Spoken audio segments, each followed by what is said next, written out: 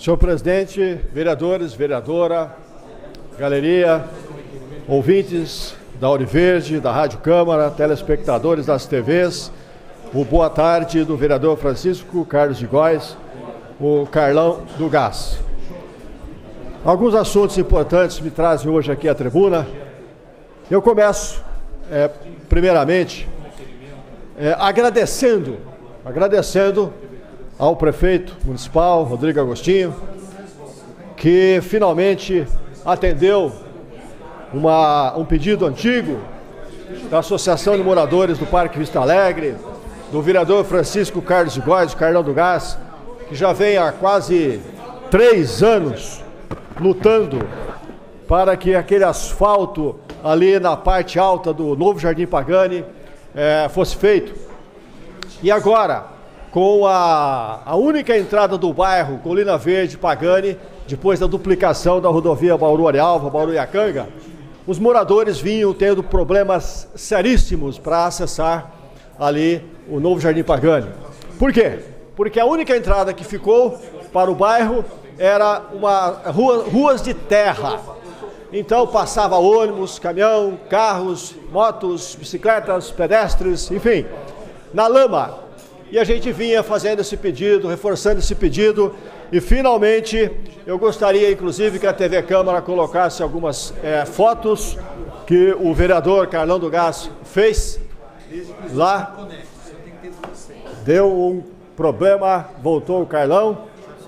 Eu volto a pedir, ali, aparece ali já aquela primeira camada, né? Eles falam que estão salgando a rua primeiro para depois vir a camada asfáltica, naquela parte alta ali do Pagani. Esta é a rua, rua José Eduardo de Oliveira Castro. E nós temos ainda a Manuel Mendes Caetano. Essa é a mesma rua, vista de um outro, de um outro posicionamento.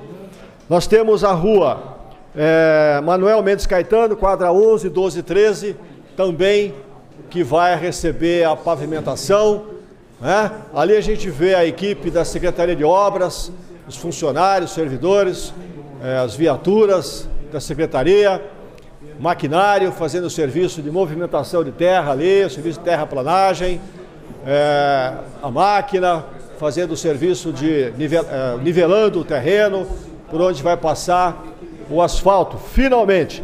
E eu, eu gostaria só de reforçar, aqui não seria é, um lembrete nós temos ali a rua Amélia Ferreira e a rua Arlete Aparecida Talon.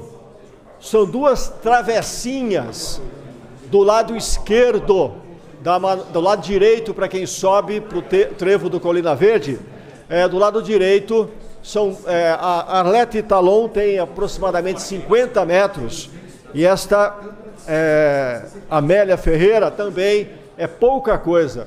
Eu, eu, peço encarecidamente, em nome dos moradores ali da região, que eh, a Secretaria de Obra faça um esforço e contemple também essas duas ruas, principalmente ali a Arlete Aparecida Talon, que já há mais de quatro anos o vereador Carlão do Gás, de forma muito pacienciosa, vem solicitando este asfalto ali.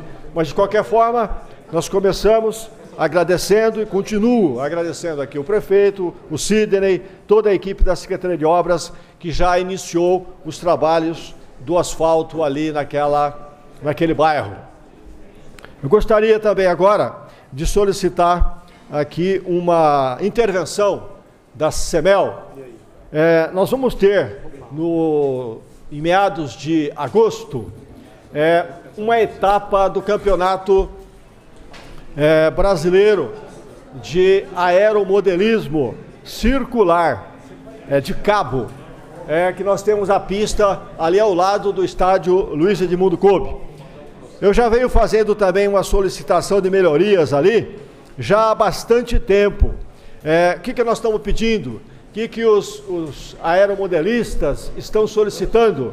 é, um alambrado simples, um alambrado simples, simples. Não queremos uma coisa é, que, que traga despesas é, é, muito grandes, vultuosas para a secretaria, mas um alambrado para separar as crianças que ali vão, ah, os torcedores, os, os,